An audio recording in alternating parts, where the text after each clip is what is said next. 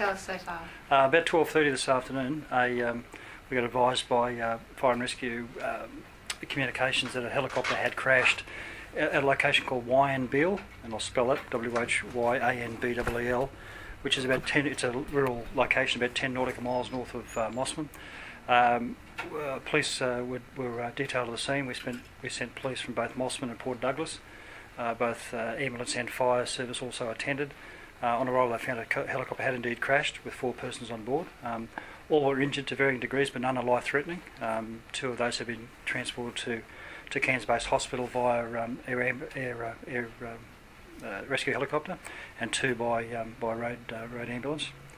Uh, the helicopter was uh, a charter owned by GBR Helicopters here in Cairns, chartered by a government department. It was conducting a weed survey at the time, which involved some uh, low-level uh, low-level flight. Uh, we got someone turn up late. Want to wait? Or, uh, Channel Seven turn up. Or, They just come in? No, it's fine. right, don't worry about it. No? Uh, where was it? Um, yeah, the, the helicopter's owned by GBR Helicopters, a, a, a local Cairns company. It was on charter to a government department conducting weed uh, weed survey. Uh, as I understand it, that involves quite low level flying, and uh, the, the helicopter crashed in the, in the, in the uh, course of that operation. Do you know like what caused it to crash? Did it hit something or?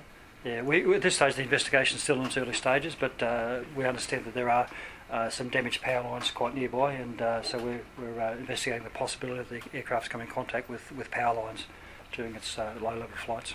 And I believe there was quite extensive damage done to the helicopter, is that right? Yeah, I haven't seen it, but the, like, the police on the scene tell me that it's uh, extensively damaged. Yes, it landed it landed upright on its skids, um, and uh, extent, but extensively damaged. Yes, So would you say that these people are lucky to have only had minor injuries? I'd reckon so.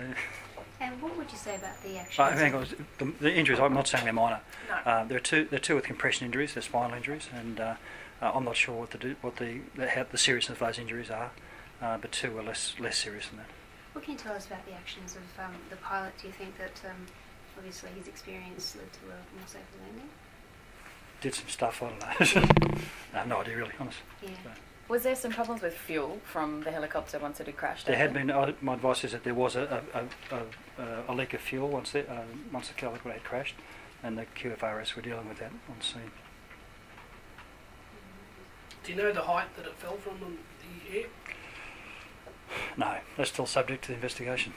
But um, I wouldn't expect too high because it hit the power lines. So, What, what to now, what, where to now? What are we going to be doing uh, tomorrow? Um, the, the, these sorts of incidents are investigated both by the police and by the Air, Air Transport Safety Bureau. Um, the ATSB aren't sending an investigator to the site, so they'll, they'll rely on, on, uh, on our findings.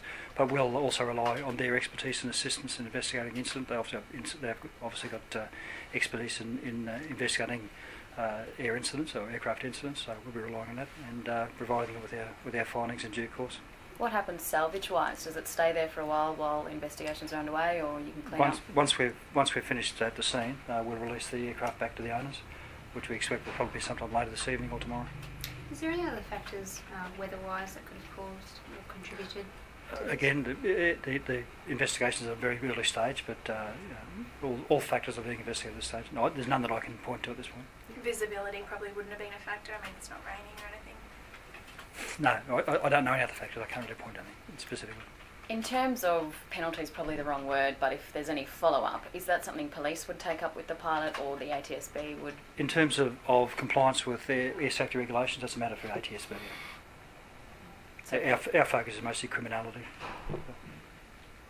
Yep. How, how experienced was the pilot? No idea. No idea. So, yeah. Good. Roger. Thank you. Thanks. Thanks, guys. Yeah. So,